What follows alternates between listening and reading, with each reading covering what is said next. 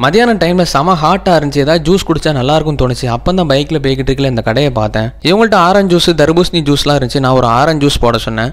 உடனே ரெண்டு பழத்தை வெட்டி ஃப்ரெஷ்ஷாக ஜூஸ் போட்டு தந்தாங்க. போட்டு தரையிலே வந்து டிப்ஸ்லாம் சொன்னாங்க. மில்க் ஷேக் இந்த மாதிரி கடையில் வாங்கி ஜூஸோட இந்த ஆரஞ்சு ஜூஸ் குடிக்க ஒரு உடம்புக்கு ரொம்ப நல்லதுன்னு சொன்னாங்க. டெய்லி ஆரஞ்சு ஜூஸ் குடிங்கன்னு சொன்னாங்க. நான் சொன்னேன் டெய்லி ஆரஞ்சு ஜூஸ் குடிக்க. ஒப்படம் ஜூஸ் காசு ஆரஞ்சு சூப்பராக போட்டு தந்தாங்க. டேஸ்ட்டும் சூப்பராக இருந்துச்சு. தெங்காசிக்குள்ளே தான் அந்த வண்டி சுற்றிக்கிட்டு இருக்கும். பார்த்தா சப்போர்ட் பண்ணுங்கள் மறக்காமல் நம்ம சேனலை சப்ஸ்கிரைப் பண்ணிடுங்க